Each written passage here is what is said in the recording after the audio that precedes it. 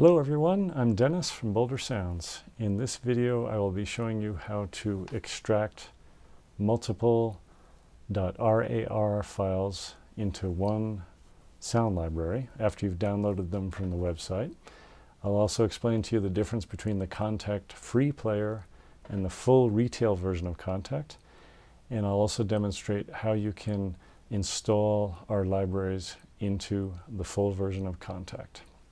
So if you look at my desktop here, you'll notice I have Pure Mandolin, and I have two files, part one and part two. These are .rar files.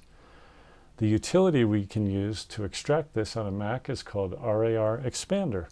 There's numerous programs for the PC to do this. There's numerous ones for the Mac. I just personally like this one. And these are typically free utilities. Um, so what you do is, what you don't want to do is try to open both files when you have a multi-part file. You just want to choose part one. And then if you double click on that or open it, it'll say, where do you want to save this to? We're going to save it to the desktop.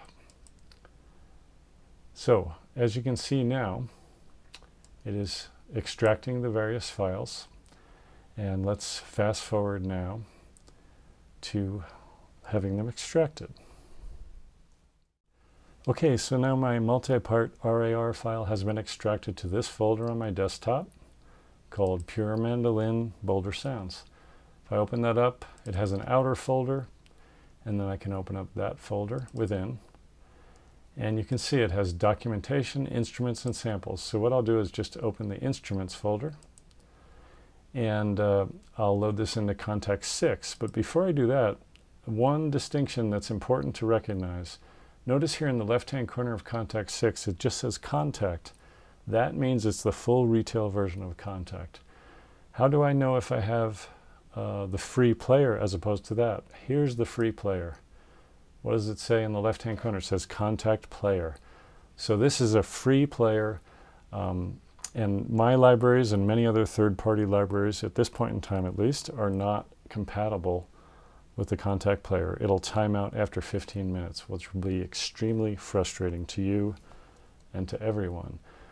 Some people say, well, I paid for the library that I got with the Kontakt player. Didn't I buy it? No, you didn't. You actually bought the library, but you didn't actually buy the application which hosts the library.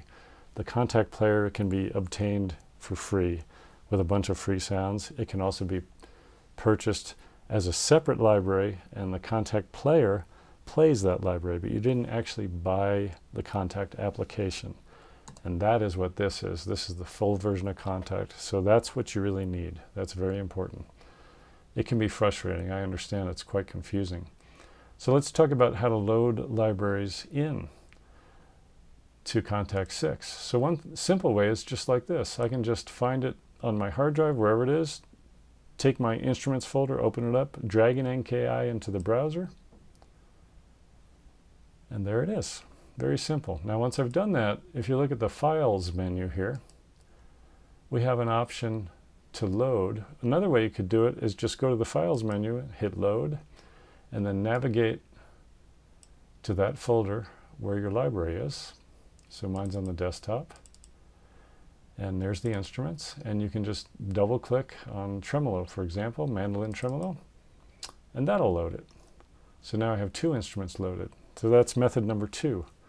Also notice in the Files menu at the top it says Load Recent.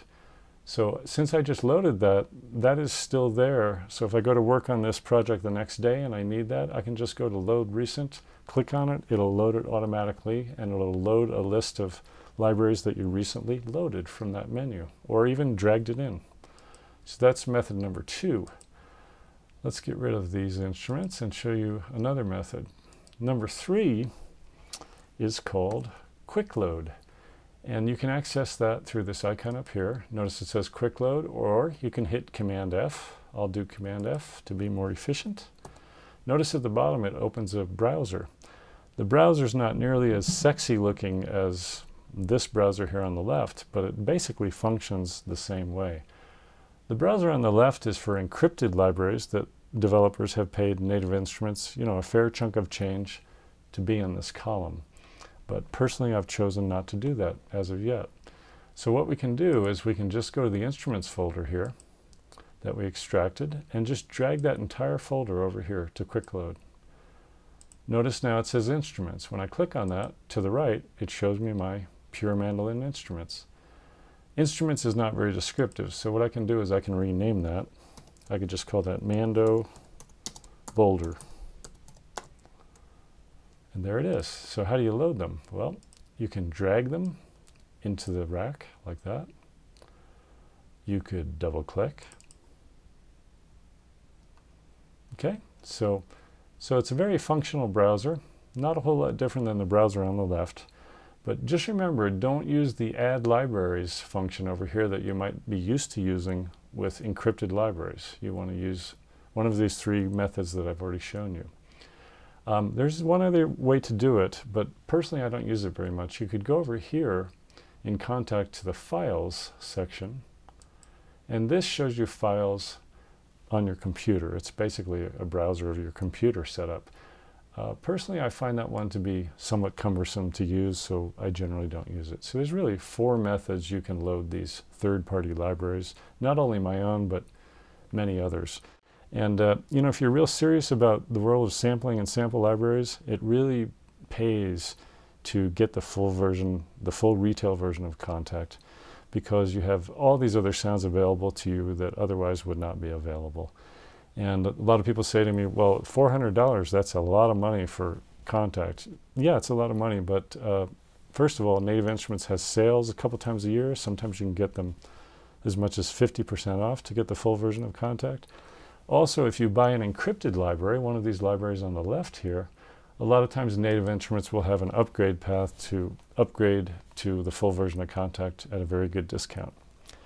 So I hope that clears things up for you, and um, Thanks for watching and best wishes to you.